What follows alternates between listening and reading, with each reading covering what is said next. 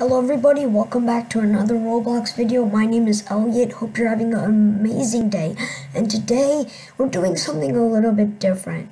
Not your usual Roblox video ideas. Today we're in jailbreak once again. And I'm actually going to ex be explaining to you guys how you can get money very fast in jailbreak. I have three or four ways that I'm going to show you. I hope this helps you.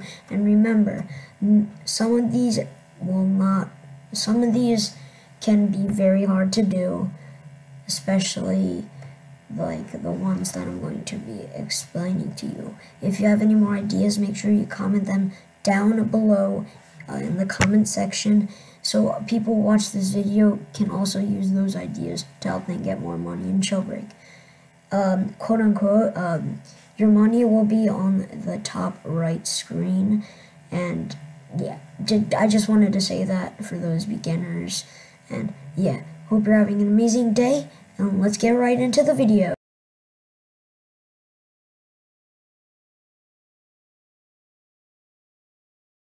One way you could rob banks.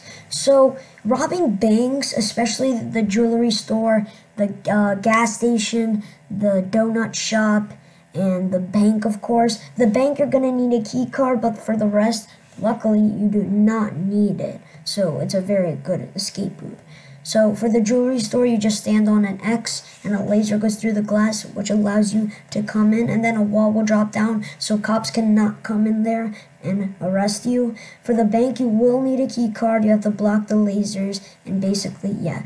Another way is you actually trade money. Trading money, I, I think, is not the best because there's like a 50% chance that people would want to trade money with you because money is very cool. One way that people would want money in this game is basically for nice cars, especially the Bugatti, uh, the Lamborghini Aventador, the truck, and all of those luxury vehicles. One last way where you can get money in Roblox jailbreak is by, if you're a cop, you can arrest bounties, which when you arrest bounties, you get a lot of money, which helps you in many sort of ways. In this case, if you arrest a prisoner who's doing the wrong thing, you get 100 be between 100 and 500 dollars in total.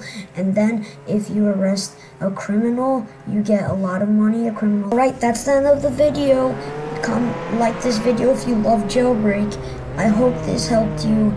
And make sure you subscribe, like, comment, and I hope you will have an amazing, wonderful, just like a beautiful, graceful day.